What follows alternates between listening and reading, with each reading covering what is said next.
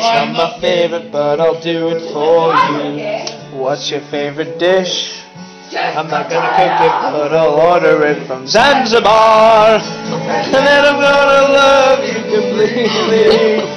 And then I'll fucking fuck you discreetly. And then I'll fucking bone you completely. But then I'm gonna fuck.